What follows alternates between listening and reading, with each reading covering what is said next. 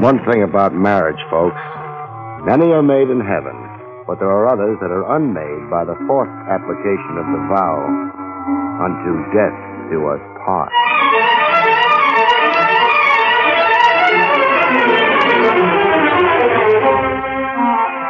The National Broadcasting Company presents William Gargan in another transcribed drama of mystery and adventure with America's number one detective, Barrie Craig, confidential investigator.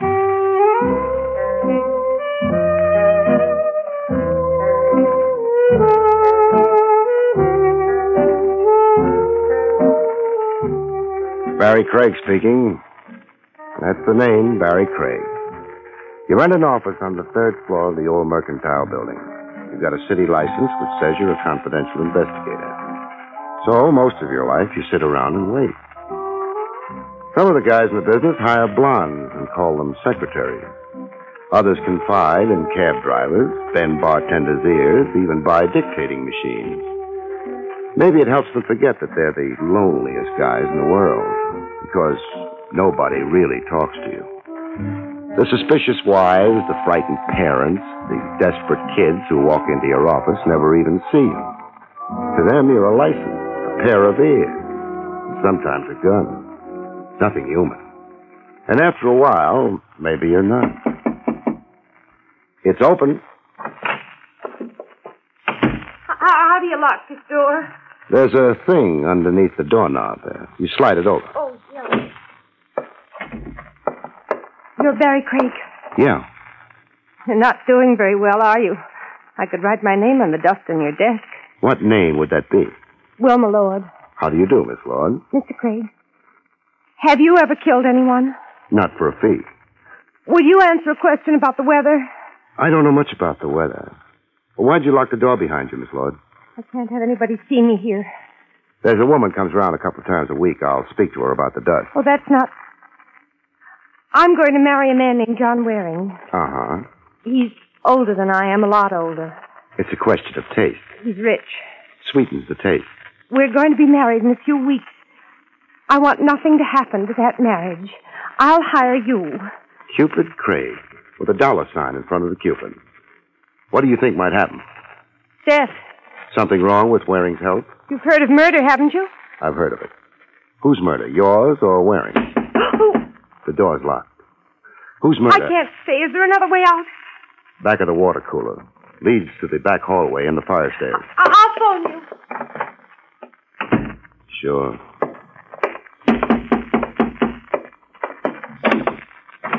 Yeah? Get, get out of my way. That gun a little heavy for you? I said, Okay. Well, the dame. Where's the dame? you don't look too good. Where is she? Got a name for her? The dame. Walked in here, I seen her. And now you want to take another look? Wanna give her back a knife. Knife? Uh, The floor stopped him. I kicked the door shut behind him. The knife he'd mentioned was angling out between his shoulder blades. I didn't want anybody to confuse him with a client.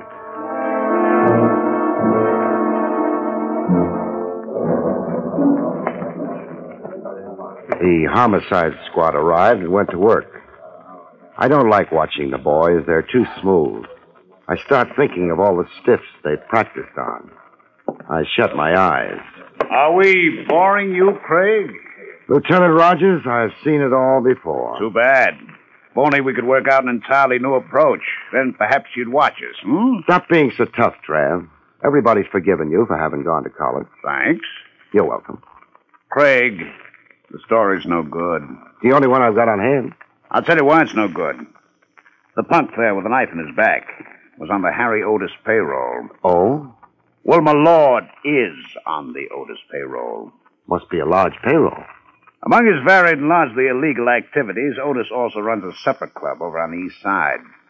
The Gilded Lily. Mm-hmm. You can have Wilma Lord for supper there six nights a week and twice on Sundays. It's too early for supper. The last couple of months, Otis has been very busy. Hovering up The Crime Commission? the Crime Commission. Mr. Otis is a very large target for them. He's been doing his best to shrink recently. Wilma Lord could have come to you because she planned to concertize with the commission and wanted protection. Why me? You're big. You're good natured. And, uh, well, I'm stupid? no, no, no. But you like to believe people when they give you a chance to. What about the Waring angle? Did she pick him out of the phone book? There is no Waring angle. John Waring happens to be a distinguished philanthropist. That means a guy with so much money he can give some of it away. Thanks for the translation. I still believe Wilma Lord's story. Why? Because she's young, beautiful? Because she looked you straight in the eye when she told you all? no, Trav. Because she was nasty.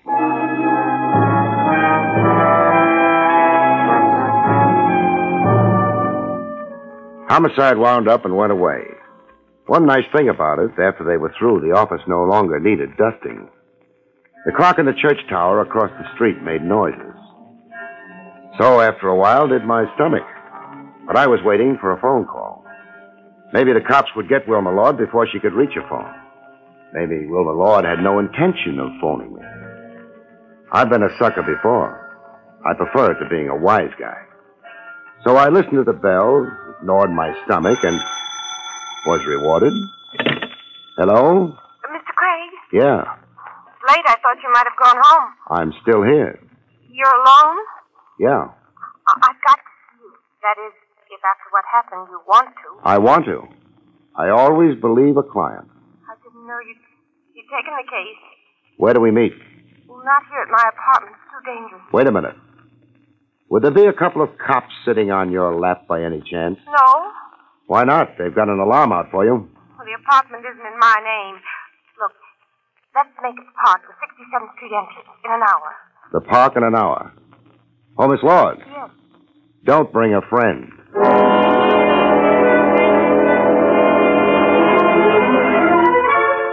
I locked the office door. Nothing in the office worth stealing, but this way, maybe I could tempt a burglar. I felt underprivileged. I'd never been burgled.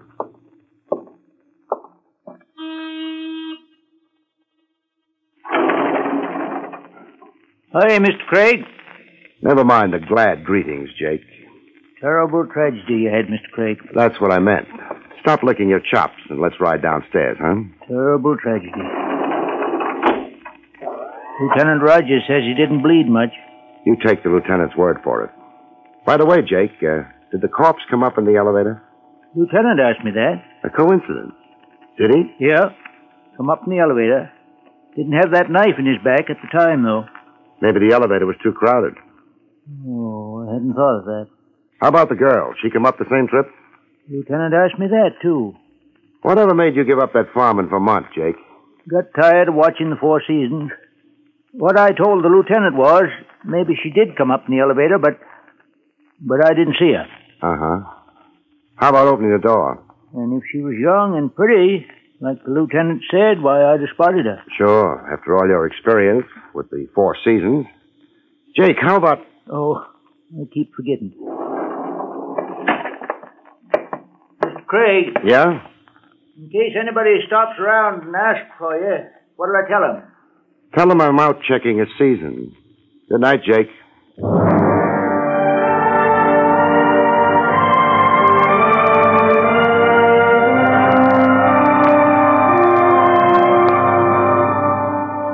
The park was close enough so I could take a couple of hamburgers aboard at Willie's wagon. A couple of hamburgers and a cup of the stuff Willie calls coffee. Willie keeps his coffee urn shined. I was facing it. What I saw in the urn looked like what you see in the distorting mirrors in the Coney Island funhouse, except not so funny. Willie, You got a complaint? Take it up with the mayor. take a look over my left shoulder, Willie. Oh, it's gorgeous. You want I should pin a gardenia on it? Somebody looking into the wagon had his face plastered against the window. I don't want to turn and tip him off. Huh? You hitting the pipe again? No face? I bet you inhale, too. Oh, forget it, Willie. You must have ducked. Here. Take that up with the Bureau of Internal Revenue. Boy, you throwing dough around. What's the matter? You had a horse in the fifth? No, I had a corpse in the third.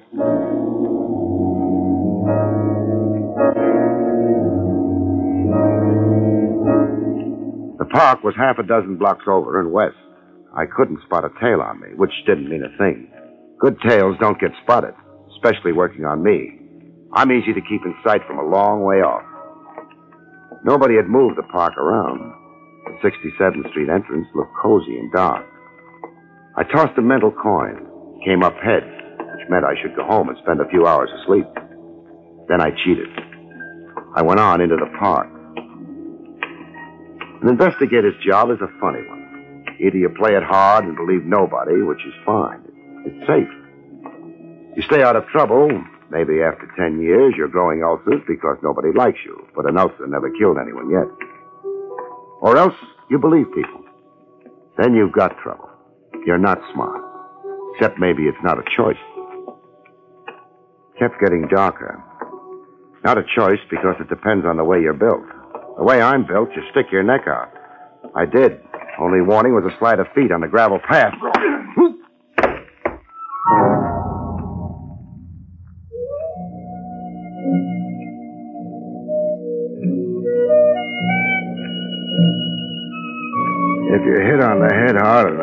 Enough, knocked out. All you remember afterwards is getting up. It's a memory you're willing to trade cheap. The guy looks like he is returning to us, Mr. Otis. He might have fractured his skull, Beeper. Private eyes have got very hmm. thick skulls. All I know is I read about them all the time. Private eyes are always getting bopped on the skull. It don't bother 'em. It bothers me. Beeper, help the gentleman. Never mind. Mr. Craig, I've got a headache. I'm sorry Beeper is so enthusiastic. Send him over a little closer to me. I'll calm him down. I'm afraid not, Mr. Craig. Beeper is armed. He was acting on instructions from me. Was he supposed to bring me in alive?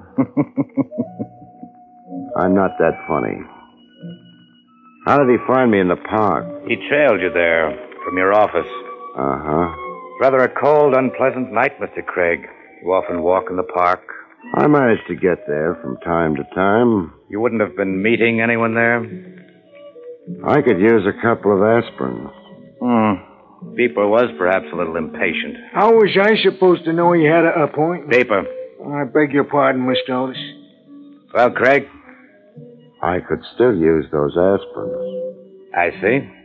Well, perhaps it isn't very important. What's more to the point, Mr. Craig, you had a visitor this afternoon. I had lots of visitors, most of them in uniform. I'm referring to the gentleman who preceded the police. The gentleman whose untimely death was responsible for the visit. You didn't happen to kill him by any chance? the cops didn't think so. They might be prejudiced. Also, you may have pleaded self-defense. Otis, you know better than that. A man like you has pipelines to the department. Very well. A question then. What was the gentleman You mean the punk with the knife in his back? doing in your office? He was dying there. Hey, I'm hearing music. A ringing in my ears? A rather good little orchestra. They'd be insulted by your description. Don't tell them about it. This wouldn't happen to be the Gilded Lily, would it? You know the place? Sure. Some of my best friends have had supper in it. What was Jimmy doing in your office? A punk? He might have been looking for a confidential investigator. Oh, for what purpose? To help him find his lost innocence, maybe. Beeper. I'm not joking. What job was he doing for you? What makes you think he was doing anything at all for me? He was on your payroll? Indeed. The cops told me. They're blabbermouths. Hmm, pity about the civil service. Things would be so much easier otherwise. You could buy more for less, huh? You're not going to tell me why Jimmy came into your office? I didn't say that. I'll tell you why. He was looking for the owner of the knife in his back. Oh, He never got around to telling me who it was. Would you like some information? very much. At what price? We'll discuss that later. The information goes like this. Your boy came up in the elevator. He didn't have the knife in him then. He did have when he got to my office. So. Someone presented him with a knife someplace between the elevator on your floor and your office. Yeah, one thing more. It wasn't right outside the office door. Oh? He got it near the elevator. He went down. There were a couple of bloodstains on the hall floor indicating that. He went down, stayed down for a while, pulled himself to his feet, and made it to me. Why? You didn't like my previous suggestion? No. Craig, whom did Jimmy follow to your office? It'd be nice to know, wouldn't it? I mean, for me. Because you know, don't you? You mentioned something about a price for the information. What price? What do you think about matrimony? I've no time to discuss philosophy at the moment. Or philanthropy? Beeper, Yeah, Mr. Otis. up until this moment, I've been considering Mr. Craig an honest, if somewhat stupid man. Now I'm not so sure. Yeah? Either of his honesty or of his stupidity. I can get you references on both counts. I would like to be sure, Beeper. I take him apart? Unless Mr. Craig would like to tell us another story. I'm out of stories. You're in trouble, however. Beeper, we want Mr. Craig to explain his remarks about matrimony and philanthropy. Yeah, hold it, Craig. I wouldn't mind plugging you in a leg, say. Give me excuse. You're gonna stand and take it nice? Okay. Take it. I hope the gun barrel don't scare you permanent. How about putting your arms behind your back, huh? Gonna start getting painful soon. Thanks. Now, hey, who? Opportunity knocks. No, Otis. I've just inherited a gun. Beepers. You weren't expecting company. Mr. Otis, I've been knocked unconscious. I've been pistol whipped. Maybe I'm sore. I wasn't expecting company. Yeah, that's the reason Beeper was startled. All right, open the door. Let's see who it is.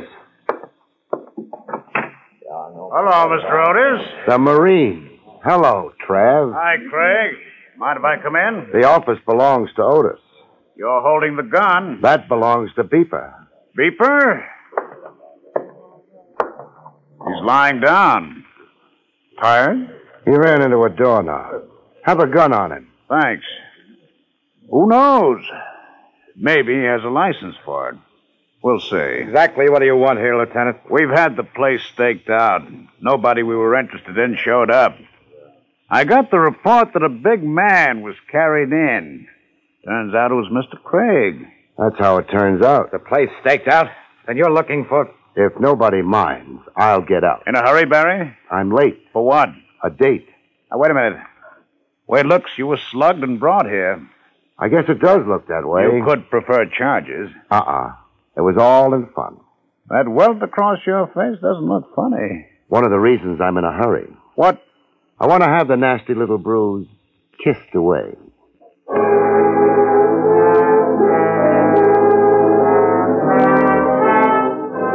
Lieutenant Rogers didn't argue with me. He wanted conversation with Otis and Beeper. Nobody had mentioned Wilma Lord yet. Not Otis, not Trav. But they were thinking of her. So was I. I tried the park. A couple of hours had died since the appointment, but I had to make sure. I made sure. Maybe Wilma Lord had been waiting for me. Maybe not. Either way, she wasn't waiting anymore.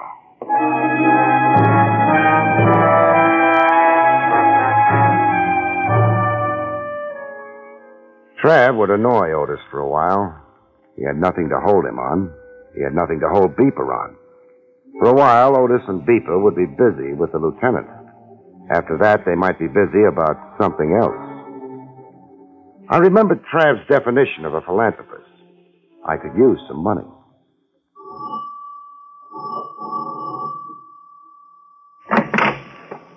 My name is Barrie Craig. Yes, You're John Waring? I am. Mind if I come in? It's rather late. So late you sent the butler to bed, huh? Well, that is hardly. Who did you say you were? Barrie Craig. Should I know you? Yes, Why? because you're a philanthropist. Good night. I didn't finish. Because you're a philanthropist about to get married. Come in. Thanks. In here, if you please.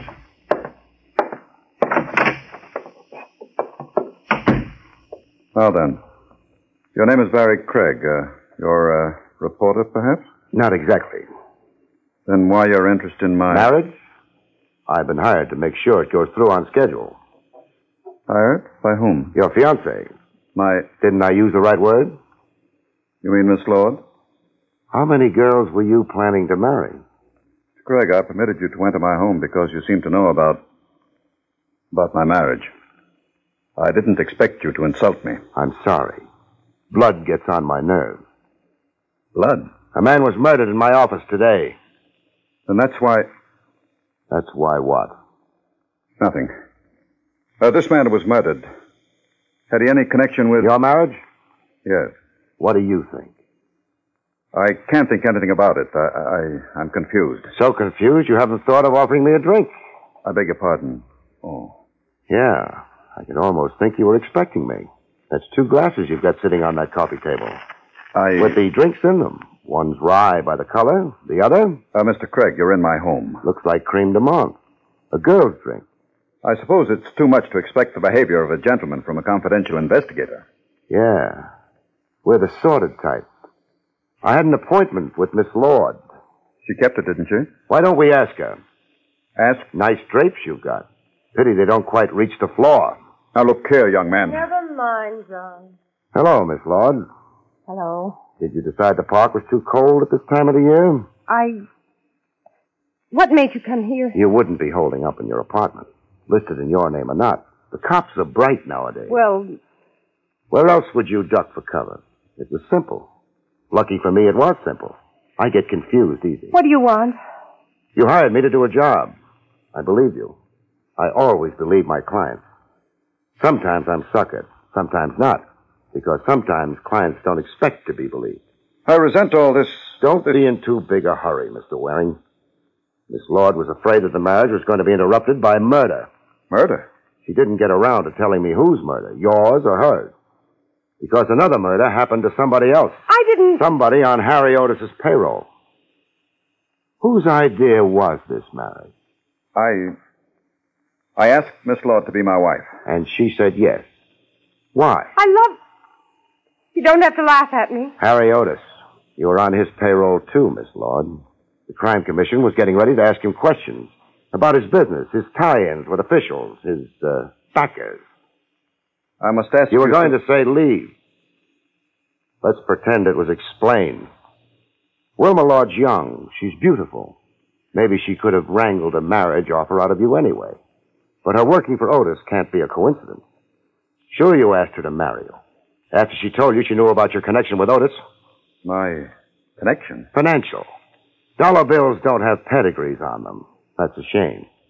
How many of the dollar bills making up your bank account came out of Harry Otis's dirty enterprises? This is absolutely, absolutely unwarranted. No. Up until five minutes ago, it was a guess. A stupid guess.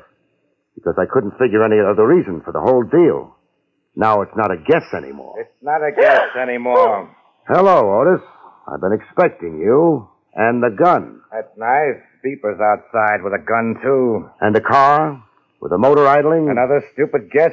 Sure. Stupid ones give the most trouble.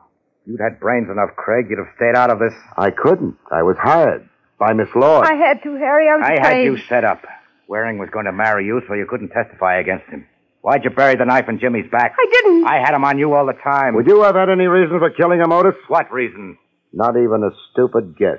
Otis, Yes. This, this squabbling, it's unpleasant and uh, a waste of time.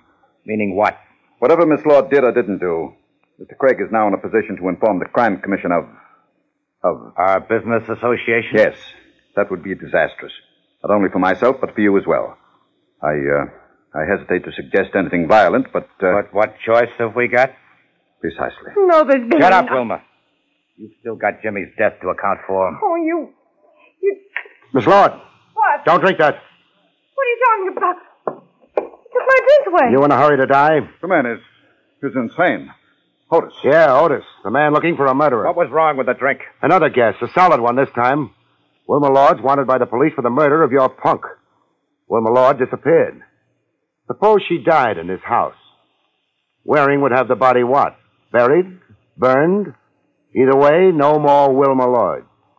The cops would spend the next century looking for her. The case would be Oh, closed. no. Also, John Waring wouldn't have to marry her.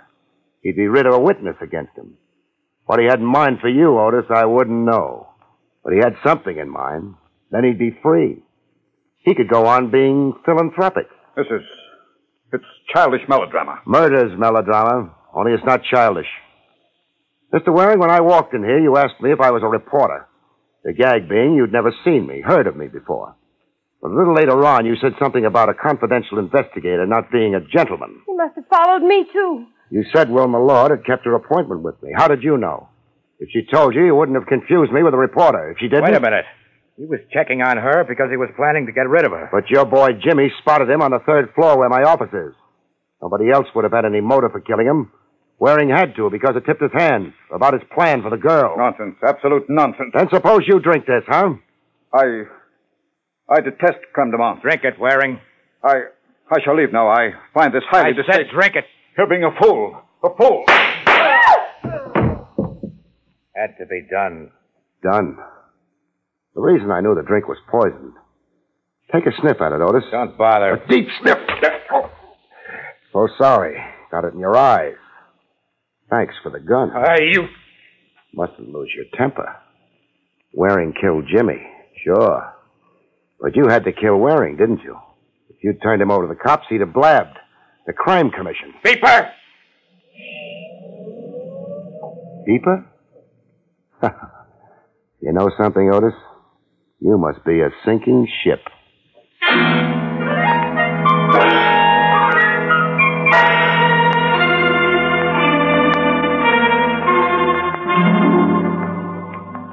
That was it. All wound up, went home, I slept. The next day, I was back on the third floor, being lonely. How do you lock this door? There's a thing underneath the doorknob. Oh, you remembered. Somebody following you again? No. I just don't want to be interrupted. At what? Thanking you. I don't have any money. I'm not marrying a rich man anymore. But I don't think you'll mind. Oh. I always believe a client. Good night, folks. See you next week.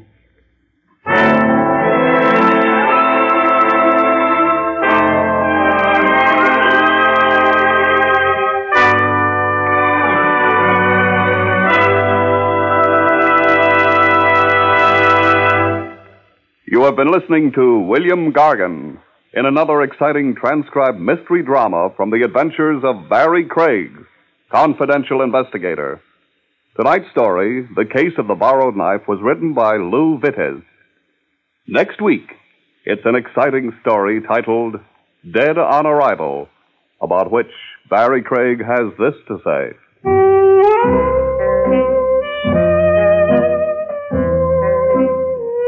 Next week, I devote my time to a bashful blonde, an escaped lunatic, and a stone cold corpse. And, brother, is it murder? See you next week, folks.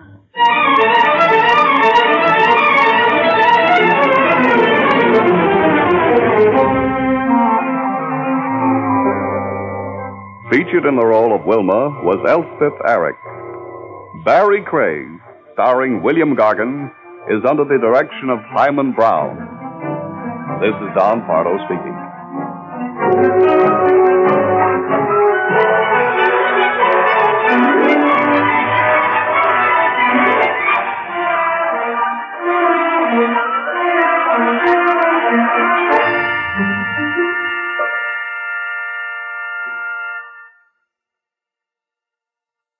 It's the Silver Jubilee on NBC. This Sunday night, be sure to hear The Big Show with a full 90 minutes of outstanding entertainment. This Sunday, The Big Show will present such stars as Sophie Tucker, Morton Downey, Ann Sheridan, Jerry Lester, and your glamorous, unpredictable hostess, Tallulah Bankhead. The Big Show brings you a sparkling program presenting drama, comedy, music, everything to provide you with the biggest show in radio. Yes, for people in the know, Sunday means The Big Show on NBC. Then later Sunday night, Theater Guild on the Air presents Age of Innocence by Edith Wharton, starring lovely Claudette Colbert and MacDonald Carey. Yes, there's 60 minutes of top flight drama coming your way this Sunday as Theater Guild on the Air brings you Age of Innocence. And for photos as well as feature articles on your favorite NBC stars, be sure to buy the current NBC Silver Jubilee issue of Radio TV Mirror magazine. This Sunday, hear the best, hear the big show, and Theater Guild on the Air, both on this, your NBC station.